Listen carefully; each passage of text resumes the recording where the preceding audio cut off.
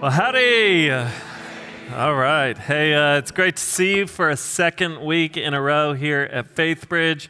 I'm always delighted uh, at the chance to be with you. I want to start by sharing with you something that I've shared before, but for the ladies in the room, I just want to fill you in on what happens when guys get out of the city and get around a fire okay? Anytime men get out of the city and get around a fire, uh, men take on uh, one of three types of people. Men become one of three types of men around the campfire. The first type of guy around a campfire is the sit back and relax guy. That's the guy who shows up, watches other people build the fire, and uh, finds his seat, sits down, and doesn't move the rest of the night. Like if that fire begins to dwindle down, he begins to believe and realize that this night is coming to an end. And when the fire is out, he assumes it's time to go to bed. Okay, that's the sit back and relax guy. The second guy is the lighter fluid guy. Okay.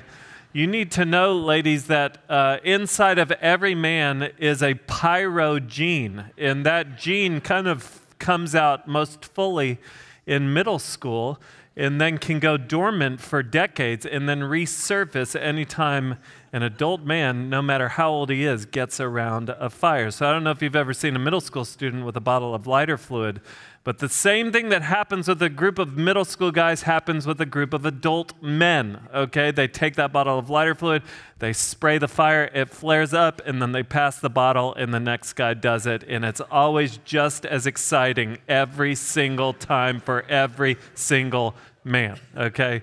And then the third type of guy around the fire is the cultivator, okay? This is, this is the Boy Scout. This is the guy that um, refuses to settle for a mediocre fire. He, he wants to, to build a bonfire, like no matter what. So, this is the guy that will just disappear into the woods without saying a word. He'll just disappear for 30 minutes and then return, like carrying an entire tree with him. Like, this is the guy who shows up with like an axe attached to his belt. It's like you came to do damage to something.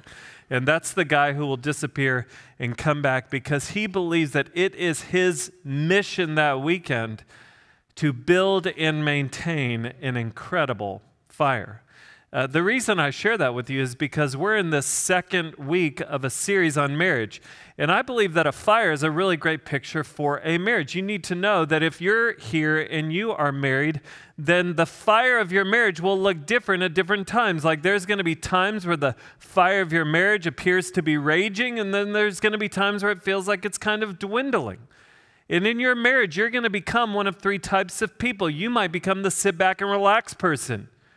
You might be the person who says, you know what, I helped this fire get going because I stood on the altar and I said, I do, but now the honeymoon phase is over and maybe you're you're a decade in and, and you're at a point where you're just kind of sitting back and you're watching the fire of your marriage dwindle and you just don't have the motivation to do anything about it. You're looking around hoping that maybe your spouse is going to do something about it, but you're just not prepared to exert the effort that's needed to maintain the fire of your marriage. Maybe you'll be the lighter fluid person in your marriage, and you're more event driven. That you're expecting these big flare ups, but then there's there's the dwindling down of your fire. And so you're just in this rhythm of flare up, dwindle down, flare up, and dwindle down. Maybe you come to this series at FaithBridge and it's going to flare up, and then over the next few months, it's going to dwindle down. And then you guys are going to have a much needed date night, and it's going to flare up, and then you're going to go for a few months without another date night, it's going to dwindle down. Then you're going to get away for a weekend for the first time in three years, it's going to flare up, and then you're going to wait another three years, and it's going to dwindle down. And it's event driven. You're just going to move from event event to event to event to kind of save and spark your marriage.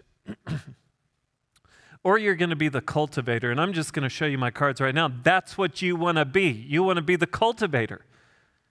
You want to be the person that says, I want to do whatever it takes to stoke the fire of our marriage. I want us to have a healthy marriage, but marriage takes work.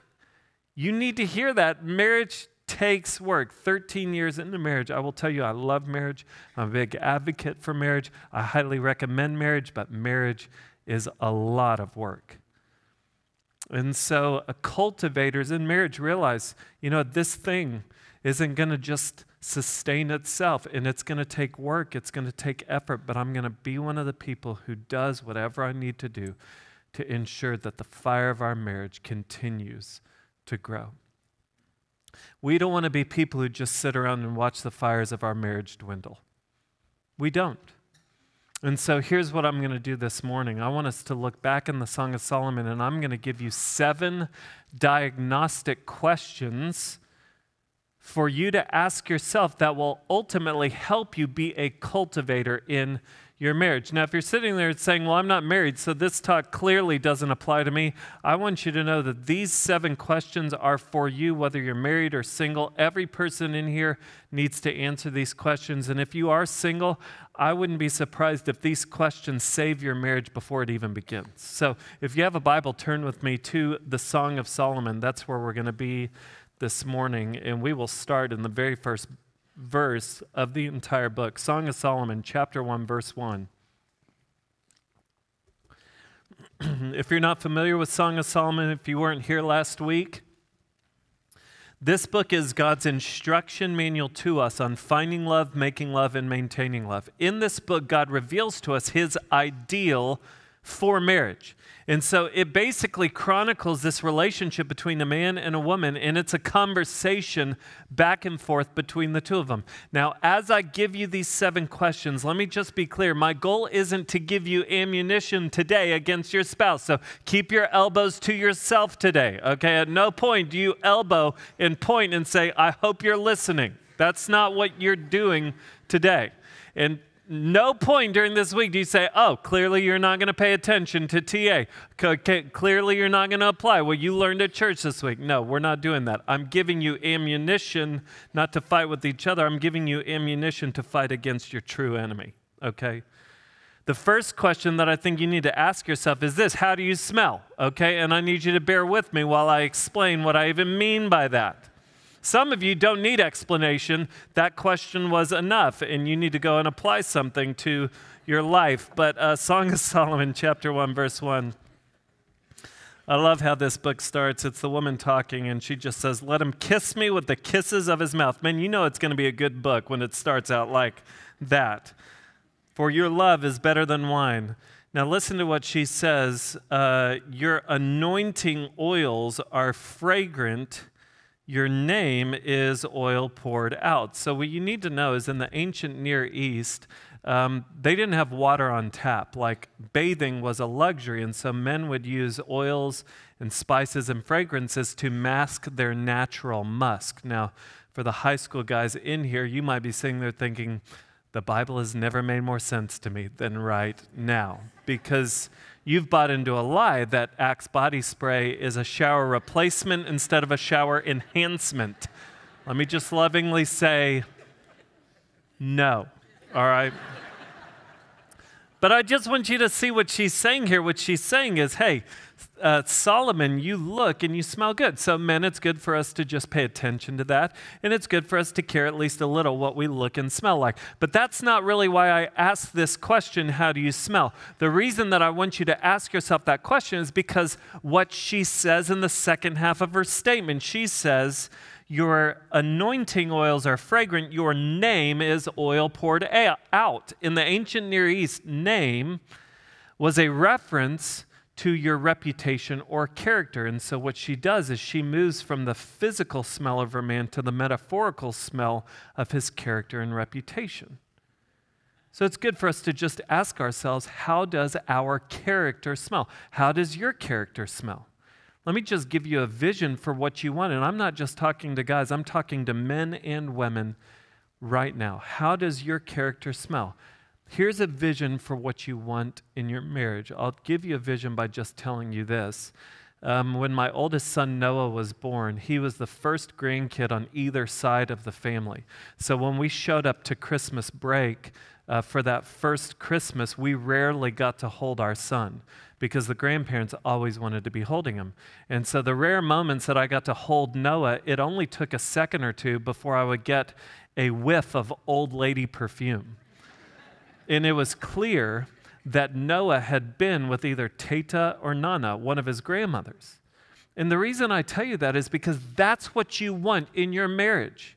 When you wake up in the morning and your spouse gets around you, or when you sit down at the dinner table at night and you sit with your spouse or your kids, or while you and your spouse are getting your kids to bed at night, or when you and your spouse and your kids go on vacation, or you and your spouse together just go on vacation, it shouldn't take long before your spouse begins to smell Jesus in your life. You want it to smell as if you have been around Jesus recently. That's what you want. And that's what happens when men and women submit their lives to the leadership of Jesus Christ. That's what happens when a man or a woman wakes, every, wakes up every day and submits their lives to the words of this book. You can't know God's ways without first knowing His word what happens when you wake up and you engage with God in prayer and you say yes to Him and His desires for your life in your marriage, you know what happens is you begin to smell as if you've been around Jesus. So, how does your character smell right now? Can the people in your life smell that you have been with Jesus? Let me just be clear what Jesus smells like. Jesus smells like conviction, not compromise. So let me just ask you how does your life smell right now? Does it smell more of conviction or compromise? You know what I mean by conviction? I mean that Jesus' way has become your way. Jesus' standard is your standard. What I mean by compromise is that you're just simply settling for something less. So, does your life smell of conviction or, uh, or compromise? When it comes to the language that you use around your spouse or your kids, does your life smell of conviction or compromise? When it comes to how you use alcohol, do you smell of conviction or compromise? When it comes to overspending, using money that you really don't have, do you smell of conviction or compromise? When it comes to what you do when you're away from your spouse, do you smell of conviction or compromise? This will just help you evaluate how your character smells. Let me just give you another way to evaluate the smell of your character. Do you smell of faithfulness or flakiness? Like, do you say what you're going to do? Do you do what you say you're going to do? Do you follow through? If you commit to doing something, do you actually follow through and do that? We want to be people who smell of faithfulness, not flakiness. And then, how about this? Do you smell of selfishness or do you smell of sacrifice? See, a lot of times we get into marriage expecting to get. But marriage is more about giving than receiving. It truly is. Marriage is about laying your life down for the other person. It's about looking out not only for your own interest, but the interest of others. It's modeling the attitude of Jesus Christ that Jesus Christ left heaven and came to earth and he gave his life for you and for me. In marriage, we are supposed to give ourselves for the sake of the other person. So, how do you smell? Do you smell of selfishness or do you smell of sacrifice?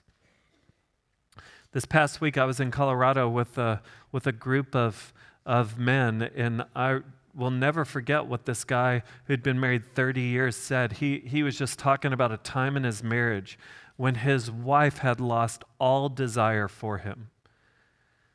And what he realized is that he was prioritizing his work over his spouse. And this is the thing that he realized. He realized that a godly woman is attracted to godliness.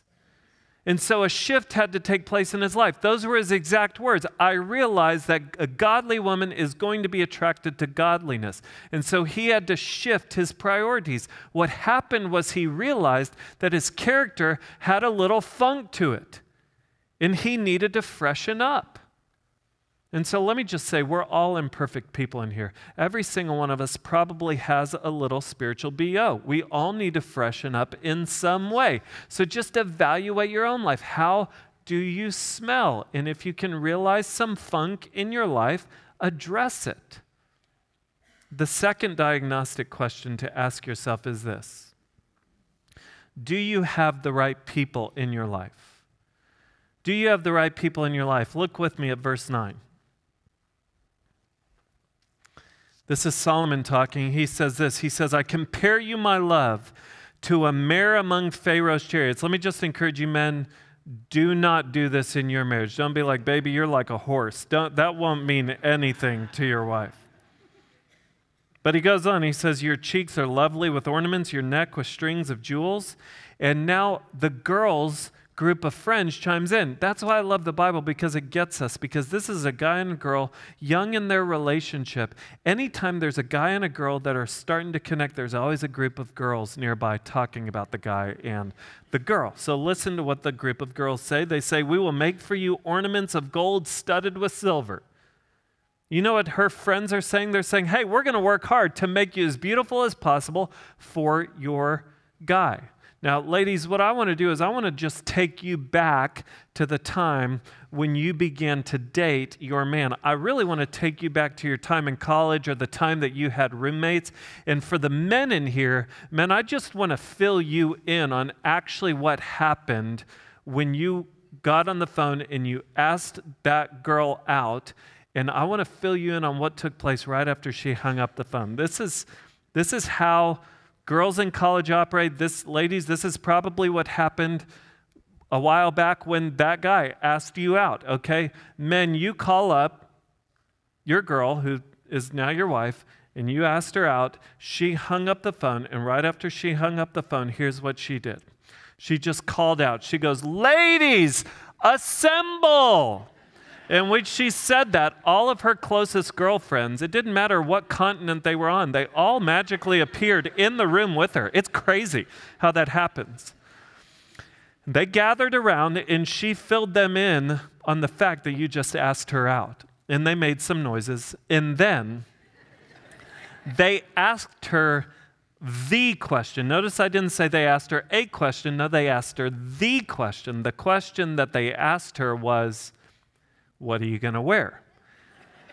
and she then gave them the response. The response is, I don't really have anything. And that's all that group of friends needed to hear to then snap into action. Men, you need to know that when that door opened up, when you went to pick her up, she didn't own anything that she was wearing.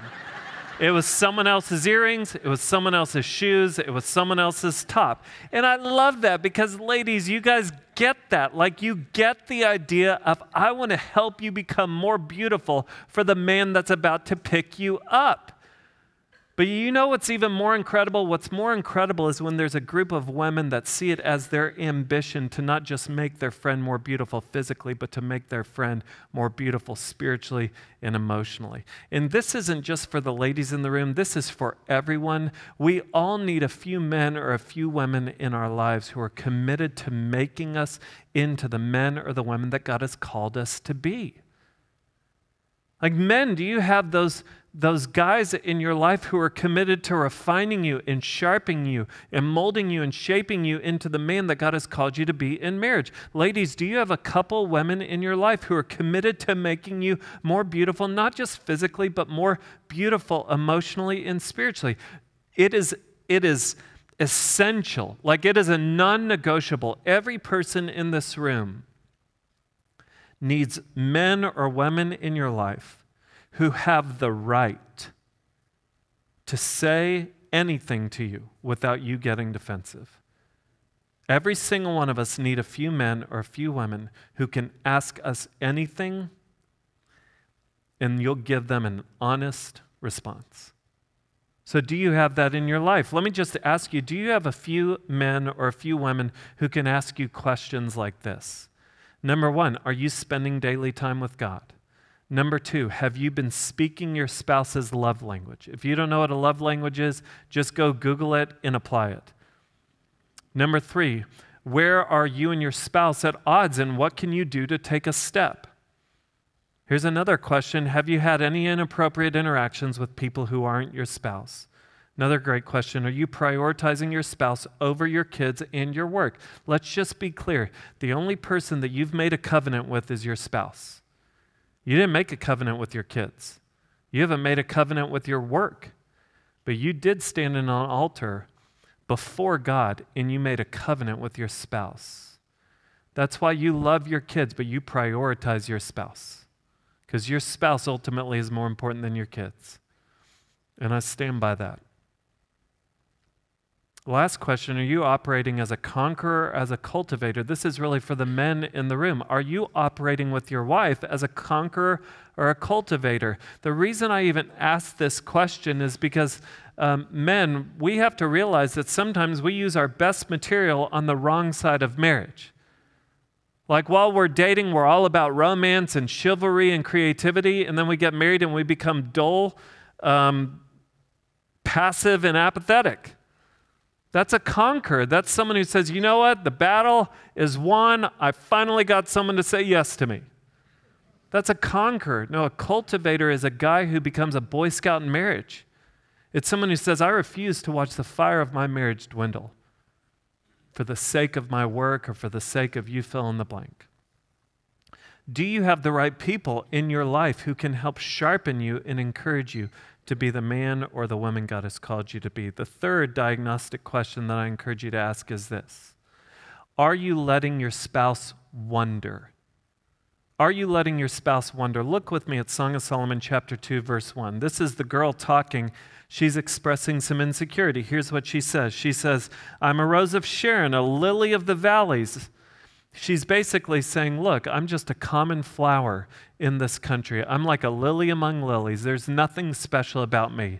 And the guy chimes in and responds and says, As a lily among brambles, so is my love among the young women. He's saying, You're not a lily among lilies, you're a lily among thorns. There is actually no one else like you. And she returns the favor. Listen to what she says in verse 3. She says, As an apple tree among the trees of the forest, so is my beloved among the young men. They are affirming, uh, they're affirming each other. They're going back and forth, um, canceling out any insecurity that they might have. And we see this played out later on in their marriage. Listen to what the guy says in Song of Solomon, chapter 7, to his wife. Verse 6. How beautiful and pleasant you are, O loved one, with all your delights. That's a man talking to his wife after potential years of marriage. And listen to the security that she feels in verse 10 I am my beloved's, and his desire is for me. What I want to make you understand is anytime you leave your spouse to wonder how you're feeling about him or her, anytime you leave your spouse to wonder, he or she will wander into insecurity. I'm not just talking about women here, I'm talking about men. Ladies, men need to know how you feel about them. And men, ladies, your, your wives need to know, your wife needs to know how you feel about her. Don't just assume that your spouse is always confident how you feel. So you need to communicate early, often, consistently, and continuously how you feel about your spouse. Let me just encourage you to do a couple things. Number one, be a student of your spouse. Be a student. Find new things to appreciate. Believe that there is more to learn and more to love. Like, believe that today. When you go to lunch, believe that there's more to learn and more to love about your spouse. The second thing I want to encourage you to do is this celebrate the things that your spouse is supposed to be doing. Because the reality is that there are plenty of marriages where spouses aren't doing what they're supposed to be doing. What I'm telling you is be thankful when your spouse does what they're supposed to be doing. Our tendency is to take one another for granted because we sit there and say, well, you're just doing what you're supposed to be doing. Like, why would I say thank you when you do what you're supposed to do? You're doing what you're supposed to be doing, but I just need you to zoom out and think, you know what, there's a lot of spouses that aren't doing what they're supposed to be doing, so I should actually say thank you that my spouse has chosen to do what he or she is supposed to do. What that means is actually learn how to say thank you for things like when your spouse gets up and goes to work, you know what, some spouses might choose to get up and not go to work. So it's a good thing to say, you know, I just want to say thank you that you are faithful to go to work to provide for a family. You know what? You say thank you for um, cooking meals and doing laundry and dressing the kids and mowing the yard and you name it. But these are good things to say thank you for. I don't know how long it took you to gather all of the supplies needed for cooking this meal, and I don't know what everything, I don't know everything that was going on. All I know is I'm thankful that when I came home, there was a meal to eat. You know what? I open my drawer and there's something clean in it every day. You know what? That doesn't have to be the case. I just want to say thank you. Thank you for being faithful to do what God's called you to do. Celebrate the things that your spouse is supposed to be doing. The next diagnostic question I want to encourage you to ask is this Does your marriage feel more like winter or spring? Does it feel more like winter or spring? Look at chapter 2, verses 10 through 13. the girl's talking and she says, My beloved speaks and says to me, Arise, my love, my beautiful one, and come away. For behold, the winter is past, the rain is over and gone, the flowers appear on the earth. The time of singing has come, and the voice of the turtle dove is heard in our land. The fig tree ripens its figs, and the vines are in blossom. They give forth fragrance. Arise, my love, my beautiful one, and come away. So, what's happening here is Solomon is inviting his girl to go on a walk with him and he's describing how it feels outside. He, this is a guy in love. I don't know if you saw it, but he used the word turtle dove in talking to his girl. Anytime a guy does that, he's in love. All right. Anytime a guy's writing poetry, he's in love. That's what's happening here. And he's saying, you know what? It's spring outside. It is spring outside, but it's also spring inside of our relationship. You think about spring, like here in Texas, that's like a day, all right, when we experience spring. But I just want you to think about like that one day where you go outside and it's sunny and 75 and there's a slight breeze and the breeze hits your skin and you close your eyes and you just stand for a second and you think everything is right in the world. Tomorrow it's going to feel like I'm standing in front of a blowtorch. So today, everything is good. What he's saying is, you know what? Our relationship feels like spring, like it's not perfect. It is work, but you know what? Things are working. Things are moving along. There's life and there's joy in our relationship. See, when your marriage feels like spring, you know what? You praise God for it. Because it's when your marriage feels like spring that the fire of your marriage feels like it's ra- raging. Those are good moments in your marriage. And it's good to realize that your marriage is going to go through different seasons. There's times where your marriage is going to feel like summer in Texas. There's going to be a lot of sweat, it's going to be a lot of hard work. But what you want to guard against, you want to guard against the times when your marriage feels like winter. Because what's winter? Winter's the time of year when things die or go dormant. And you look at the trees and it's hard to see any sign of real life. You want to guard against your marriage feeling like winter. Let me just say this if your marriage feels like winter right now, don't just wait hoping that things are naturally going to change like seasons. Because while after winter comes spring, that isn't always a given in marriage. So if your marriage feels like winter right now, get help. Asking for help isn't a sign of weakness, it's actually a sign of strength. That's a sign of you being someone who cares enough to not sit by while the fire of your marriage dwindles and gets snuffed out. If you need to call the church and ask for help, do it. If you need to go see a marriage counselor, do it.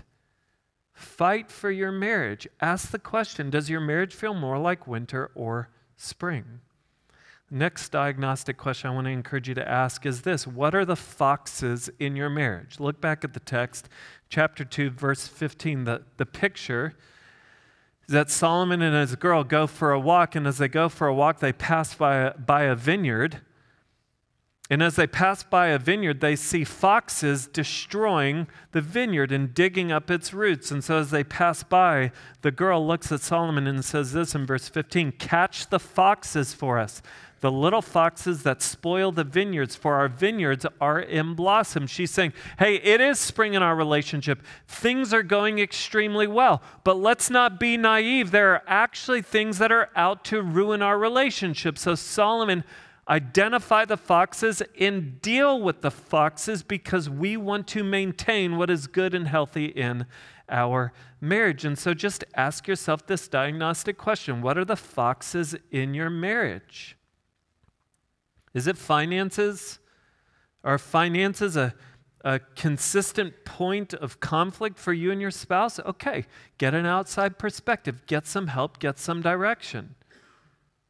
Is it the way y'all communicate? Is there a lack of communication?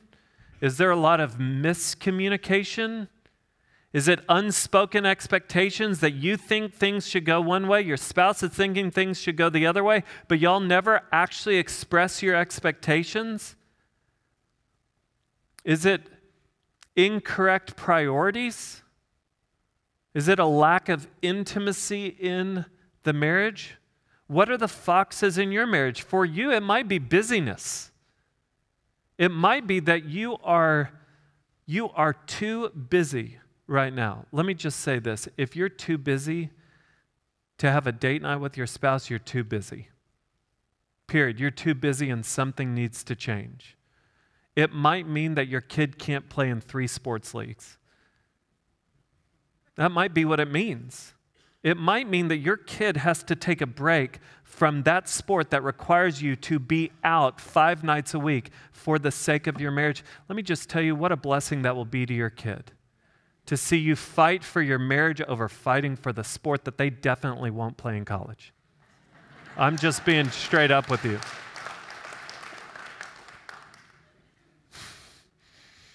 Let's move on. That's too convicting.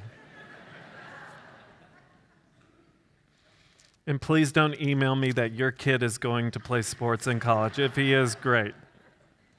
But he probably won't. All right. Next question I want to encourage you to ask yourself is this Has routine led to a rut? Has routine led to a rut? Look at chapter 7 of Song of Solomon. Here's what you need to know is that there's two points in the book, there's two different chapters um, of intimacy, physical intimacy between Solomon and this girl. Like we get to be the creepy people looking in as they experience physical intimacy. The first chapter that this shows up is in chapter 4. It's Solomon and his wife's wedding night. And on their wedding night, Solomon admires his wife's beauty. And the way he does that is by starting at the top of her body and working his way down. So he goes from her hair to her eyes to her cheeks to her teeth to her neck and on down. Okay, in chapter 7, he's going to go the opposite direction. He's going to start at her feet and move up. So let's just listen. We're not going to unpack this, but it's just fun to read anyway. So, chapter 7, verse 1. He says this How beautiful are your feet in sandals, O noble daughter. Men, isn't that awesome? He talks about her shoes because women have a lot of shoes. I mean, you unpack the box, boxes, plural, that said shoes on the side of them when you guys got married. How beautiful are your feet in sandals, O noble daughter. Now, watch this. Your rounded thighs are like jewels, the work of a master hand. Your navel is a rounded bowl that never lacks mixed wine. Your belly is a heap of wheat. Let's stop right there for sure. Man, let's just be clear. Your wife doesn't have a belly, she has a stomach, okay? And number two, it is never a heap of anything, all right? Never a heap of anything. Your belly is a heap of wheat encircled with lilies. Your two breasts are like two fawns, twins of a gazelle. Remember, this is the word of God. That's just, it is. It's profitable for teaching. Here we go. Verse 4. Your neck is like an ivory tower. Your eyes are pools in Heshbon by the gate of uh, Bath Rabbim. Your nose is like a tower of Lebanon. I have no clue what that means, which looks toward Damascus. Damascus, your head crowns you like Carmel, and your flowing locks are like purple. A king is held captive in the tresses. I love this. I love it. Because you compare chapter 4, which is their wedding night, to chapter 7, which is years into marriage. And what do you see? You see Solomon spicing things up. You see Solomon keeping things fresh. He starts at the bottom now and he works his way up. And I love that because Solomon refuses to slip into a routine, even with intimacy. See, in marriage, we have to guard ourselves against routines that, leads, that lead to ruts. Some routines are good. Like you probably need a routine with your kids. If you don't have a routine with your kids, things are going to struggle. Your marriage will struggle because you don't have a routine with your kids. It's good to have a routine of praying together. If you guys don't pray together now, I want to encourage you to start praying together. I still remember someone saying, hey, couples who pray together stay together. There's probably something to that. So if there's no routine, you don't need to feel bad about that, but tonight's a good night to start. When you guys get into bed, just just get into bed and one of you guys take a moment and pray for your marriage, pray for your family. Get into a routine of that. Get into a routine of having a regular date night. Those are good routines to have. The problem is that when, the problem comes when routines lead to ruts. So you need to identify are y'all in a routine now of getting the kids to bed and then you guys find your place in the house to just kind of zone out? Like the TV goes on, you'll sit on opposite sides of the couch and you just tune out, zone out until it's bedtime, or maybe you find your own individual places to get a book and you read, and there's really no meaningful interaction at night. Those are routines that can lead to ruts. Or if when you do go on date night, you just go to the same restaurant you just stare at each other because you don't know what to talk about anymore. These are ruts that can actually be harmful to your marriage. So it's good to identify the ruts that are in your marriage and do something about them spice things up, keep things fresh. I want to encourage you just to really practically, number one, establish a weekly date. And if you can't do it every week, do it every other week. I want to encourage you at least twice a month. You need a date you're like, we don't have the money for that. You know what? You can get an ice cream cone from McDonald's for less than a dollar, and you can sit in your car where no kids are around, and you can just enjoy talking to each other. It's not quantity of time. You can have a lot of quality time in an hour with an ice cream cone. It's not an issue with cost. You can do it in your house. I mean, you can set up, you can light candles. Like, that is easy to do. You can sit at the dining room instead of on the couch to eat your food. You can sit at the table and you can have meaningful conversation. But you need time dating one another. Establish a weekly date. If you can't do it at night, hey, you know what? My wife and I have done date breakfasts before. Those work too, it counts. Get away together at least once a year. I would encourage you to get away together at least, even twice a year if you can. I want to encourage you to Google great date night questions. My wife and I, we went to New York uh, back in December, and man, I just started Googling great date night questions. There's a lot of dumb questions out there, but man, we tapped into a list of 40 meaningful questions. So, all throughout our three days in New York, whenever we shared a meal, I'd just say, okay, let's go to the next question. And it generated all of this great meaningful conversation. We left that trip so refreshed. There's so much at your fingertips. All you have to do is ask Google for some help. and he, she, or it will give it. Okay.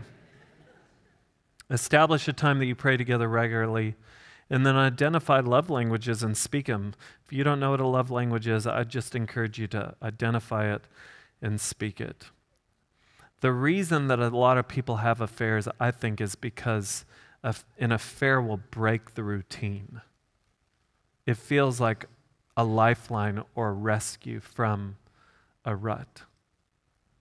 So just ask the question Has routine led to a rut? The last diagnostic question I want to encourage you to ask yourself is this Will you choose to love? Will you choose to love? Listen to what the girl says in Song of Solomon, chapter 8. This is the true love passage of the Bible. It's not 1 Corinthians 13. That was written to the church. This is written to husbands and wives. She says this in Song of Solomon, chapter 8, verses 6 and 7. She says, Set me as a seal upon your heart, as a seal upon your arm, for love is strong as death, jealousy is fierce as the grave. It flash, its flashes are flashes of fire, the very flame of the Lord. Many waters cannot quench love, neither can floods drown it. If a man offered for love all the wealth of his house, he would be utterly despised. I love what she says. She, she pictures love being as strong as death. In the ancient Near East, people would compare their feelings to death to indicate the intensity of their feelings. And I just want you to think about the fact that death is irreversible. Death is permanent. No one ever dies and changes their mind. That's not a thing. Death is a one way ticket. So, what she says is, she says, My love is as strong as death. It's permanent, it's irreversible. And so, it's just good for us to identify.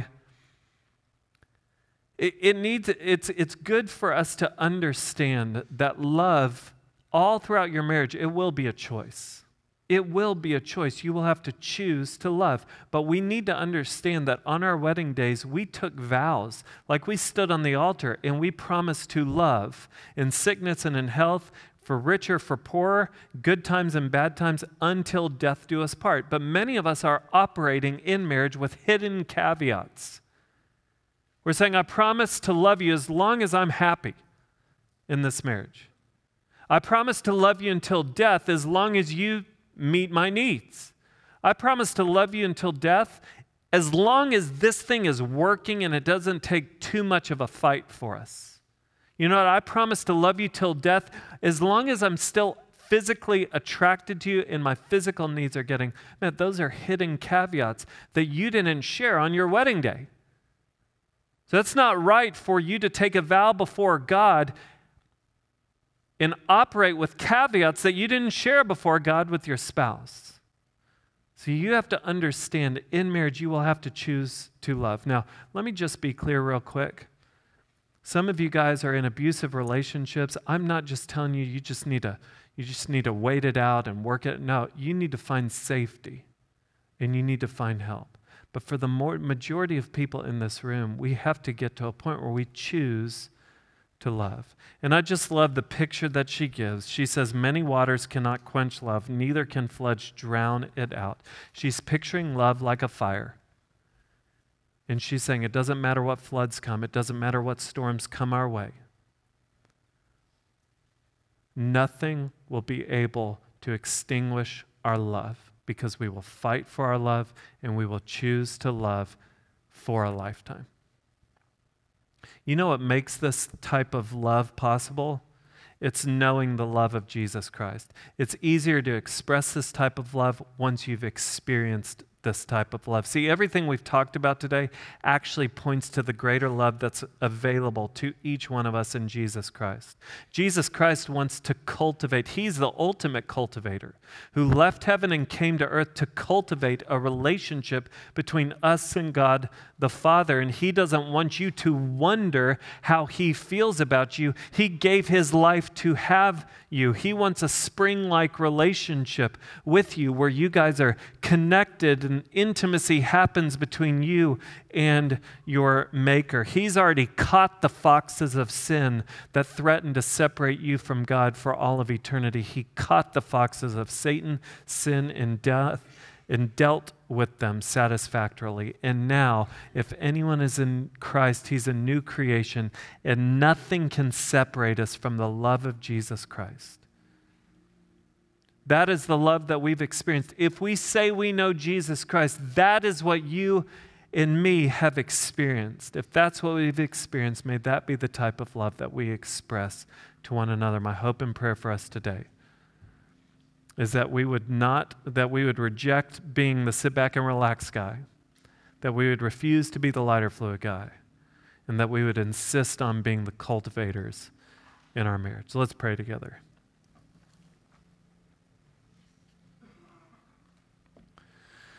Lord Jesus, I pray that you would come and do a work in our hearts. We all, Lord God, need help. We need your strength. Lord, you know the state of every marriage in the room. You know what each of them need. And so I pray for the people in the room who are wanting to end their marriage today or tomorrow. Lord, I pray, God, you, that you would sustain them today and that they would choose to fight. And for the marriage, marriages that are thriving right now, Lord, I pray that they would never get comfortable that they would never take their foot off the gas of cultivating. Lord, I pray that we would be people who express Christ like love to one another because we have first experienced your love. And if there's anyone here today who does not know your love in a personal way, then I pray that they would. We need you, Lord God. Would you do a great work in our hearts? In Jesus' name, amen.